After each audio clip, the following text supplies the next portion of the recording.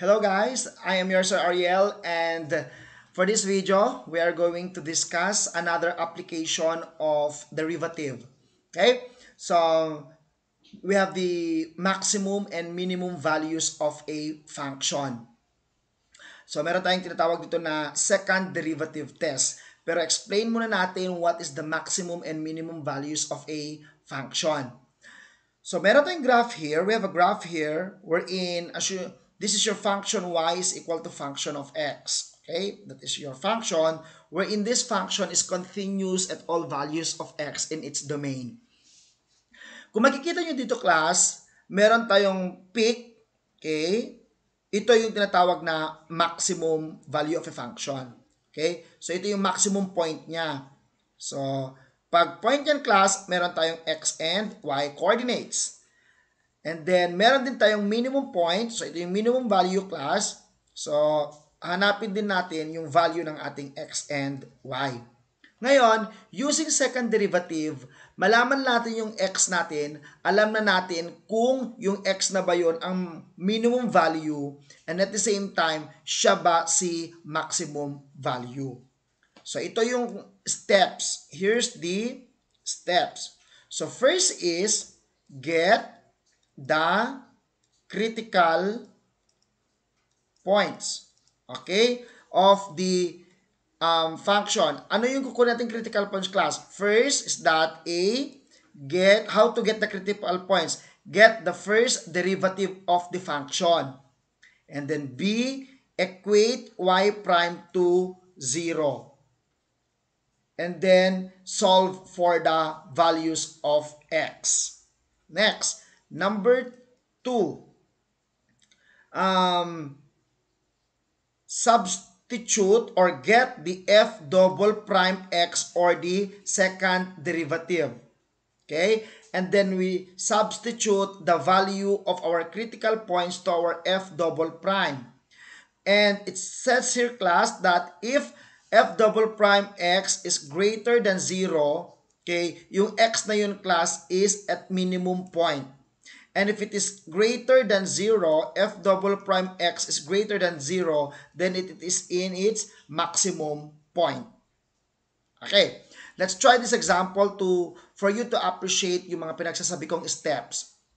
Uh, first, find the value of x for which the function y equals x cubed minus 6x squared plus 9x minus 3 is a maximum or a minimum. So una, sabi niya dito, get y prime or that class divided that is equal to f sing um, f prime x, no? So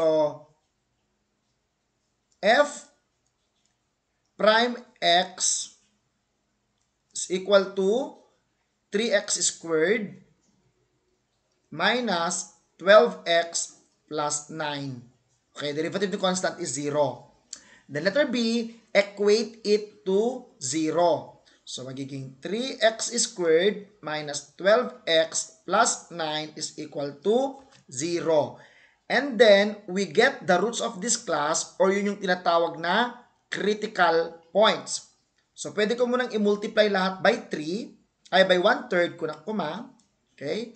So, that is 1 third magiging x squared minus 4x plus 3 is equal to 0. Now, we're going to get the values of x. You can use your calculator or you can use yung trial and error and trial and error method.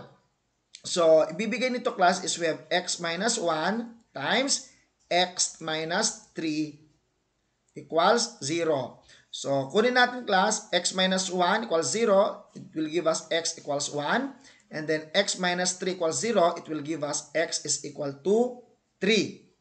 Okay. Now, um, so we have the critical points na. Okay. So, ito yung graph natin. When you do it, when you do it, lagay mo dyan critical points. So, you have your 1 and 3. And then, yung f double prime x mo. And then, lagyan natin ng remarks. Check natin kung it is minimum or maximum. At x is equal to 1, ano ang f double prime natin? So, wala pa tayong f double prime. So, kunin natin si f double prime.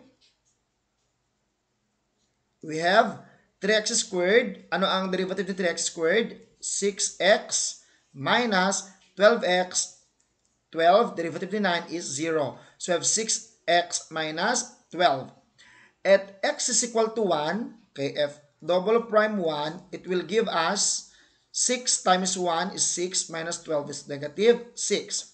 So that is negative 6. And then f double prime f double prime 3. So 6 times 3 is equal to 18 minus 12 that is 6. So that is 6. Ano yung remarks natin class? If f double prime is greater than 0, so f double prime, so greater than 0 is tong 6 natin, nasa minimum siya. Minimum point. At if it is lesser than 0, nasa maximum siya. Okay. I-check natin class kung tama ba. So at point at x equal to 1, maximum daw siya yung graph natin, nasa maximum point daw siya. At x is equal to 3, nasa minimum point daw siya. Let's check class. How to check it? Itong x natin class na 1, i-substitute natin siya ngayon doon sa function ng y natin. So ang y natin is equal to x cubed minus 6x squared plus 9x minus 3 at x is equal to at x is equal to 1 y is equal to anong y natin dyan?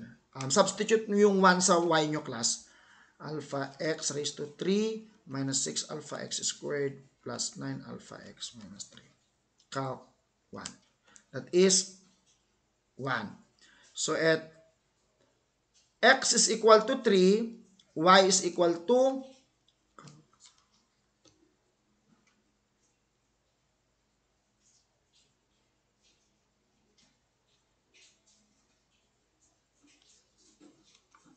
x cube minus 6 plus 9 alpha x minus 3 calc 3. Negative 3. Okay. Um, i-graph natin yan, class. So, x 1 at x is equal to 1 daw class, y is equal to 1. Okay? At x is equal to 3, 1, 3, y is equal to negative 3, 1, 2, 3. Okay? So, ibig sabihin class, ito ang point natin. Ito ang graph natin. Okay? So, at x is equal to 1, y is equal to 1, nasa maximum point siya class. Ito naman, that is, ang point natin is at 1, 1. At point 3 and negative 3, nasa minimum siya. Which is correct, no? So at 3, minimum siya. At 1, maximum siya. So ibig sabihin, ito ang, ay correct siya. Na x is equal to 1, okay, yun yung critical point natin, sa maximum siya, x equal to 3, minimum siya. So without graphing it, no, just simply using the second derivative test, malalaman mo na at what point kung saan siya maximum and kung saan siya minimum without graphing it na. Okay? So that is for the second derivative test. Okay, let's have another example. Number 2. Let's find wherein kung saan siya um, maximum and minimum. Given function of x is equal to x cubed plus 3x squared minus 9x plus 15. So anong sabi natin? Kunin muna natin yung critical points by getting the first derivative. So f prime x is equal to 3x squared plus 6x minus 9. Then second, next, we equate it to 0. So 3x squared plus 6x minus 9 equals 0. And then we get all the values of our x. Pwede ko munang i-multiply ito ng 1 third. It will give us x squared plus 2x minus 3 equals 0. So, you can use your calculator, yung quadratic, okay, or the trial and error method, and this will give us x, okay, minus 1 times um, x plus 3 equals 0. So, it will give us x equals 1 and x is equal to negative 3. So, next, gawin natin yung second derivative test gagamitin natin dito ha. So, lagay mo na yung critical points. Nahanap mo na si critical points wherein that is 1 and negative 3. And then f double prime x and then we have your remarks. Ito lang yung kailangan natin sa second derivative test. So alamin natin at what value of x maximum siya at what value of x minimum siya. So f double prime x now, we have to, so 3x squared magiging 6x and then 6x is plus 6. So f double prime, substitute mo yung critical point na 1. 6 times 1, that is 6 plus 6, that is 12. So f double prime is 12. f double prime negative 3, so that is 6 times negative 3, negative 18 plus 6, that is negative 12. So this is negative 12. Ano yung sabi natin class? If it um if if f double prime x is greater than 0, nasa minimum siya. Okay? And if it is lesser than 0, nasa maximum siya.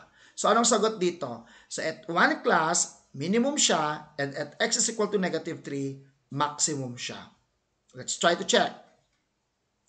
Check, ang final answer, ito na yon sa second derivative test. I-check lang natin siya kung tama ba yung nakuha natin. Na minimum siya at x is equal to 1 and then maximum siya at x is equal to negative 3 by substituting lang this class to your f of x, no? So at ano ang y natin at x is equal to 1. Um, that is alpha x raised to 3 plus 3 alpha x squared minus 9 alpha x plus 10. y is equal to 10. So meron tayong um, 1 and 10. Okay? And then, ano ang y natin at x is equal to negative 3? 42. So, we have negative 3 and 42. O, kung i-graph mo yan, class, at x is equal to 1, so 1 and x is equal to negative 3. 1, 2, 3, negative 3. So, that is 1. So, meron tayong 10. At 1 is 10 daw siya, 10. Okay, so, Assuming 10 na yan class, no? 1, 10. And then at negative 3, 42 siya. So, syempre mas mataas. Assuming that is negative 3, 42. Okay. Okay? So, ganito yung magiging graph natin. Tama ba? Na at negative 3, o tignan mo yung y niya is 42. So, mas mataas siya. So, maximum. At 1 class, so 110, mas mababa si y because 10 lang siya compared sa 42. Ibig sabihin, minimum siya. So, ibig sabihin, correct talaga. Correct yung nakuha natin. Okay? Na at 1, it's minimum at negative 3, and it's maximum. And that is the uh, method of the second derivative test. Okay? So you have, I hope you have learned something from this video.